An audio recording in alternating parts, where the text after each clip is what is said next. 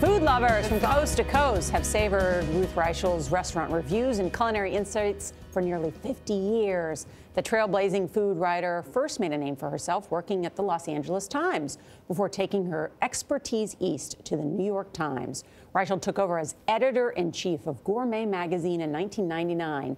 In her new book, Save Me the Plums, my gourmet memoir. Reichl opens up about her decade running gourmet. Good morning. Good morning. I know it took you a long time to figure out what you wanted to write in this book. Um, what happened when you started and you sat down writing?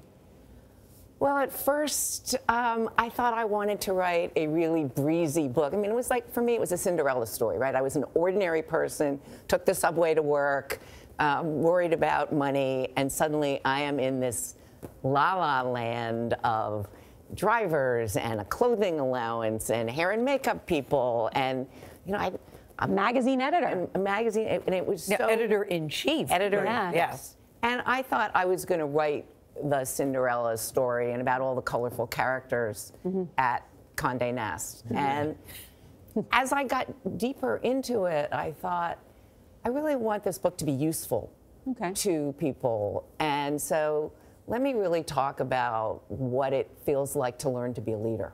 Mm. You know, I mean, I had never met, I mean, here I am, I'm a writer, right? I sit in my little cubicle, and suddenly I've got 65 people who work for me. Including one of your employees that says, Do you know what you're doing?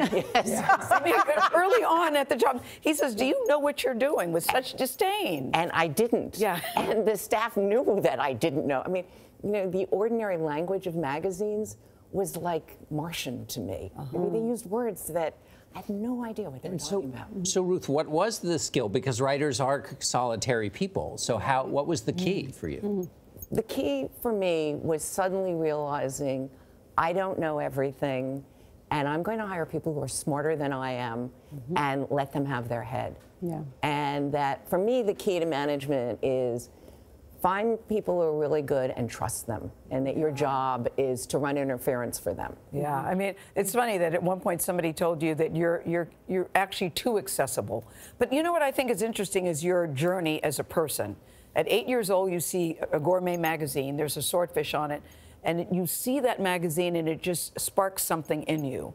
And I wonder what that was because you never thought that eating food, writing about food could be a living. You just saw it as a hobby. What did you see as a little kid? So it, it was an extraordinary story by a really great writer from the 40s, actually. But you were eight, though. I was eight. Yeah. But I read it and I suddenly saw that food could be a magic door, that everything I'd ever read was fairy tales. You know, there was mm-hmm. always like some kind of magic thing that happened.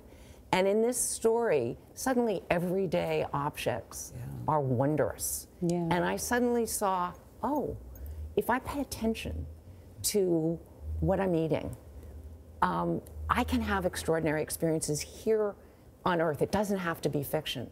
And from that moment on, my life changed, where I really saw that paying attention to yeah. ordinary things was a way to have a great life. Mm. Everybody mm. takes pictures of their food now. You think it's a good idea? In less than I, 10 seconds. I don't, actually. Don't. Oh. Um, I think you should oh. eat it, you should enjoy it, you should be in the moment instead of the minute you're taking a picture of it, you're distancing it. Yeah. Oh, okay. Food is all about love Thank and community and gathering around in restaurants. You've, you've reminded us of that. Thank you so much. Ruth's book Ruth. is called Save Me the Plums. There's a backstory on that. It's on sale today, wherever you like to buy your books.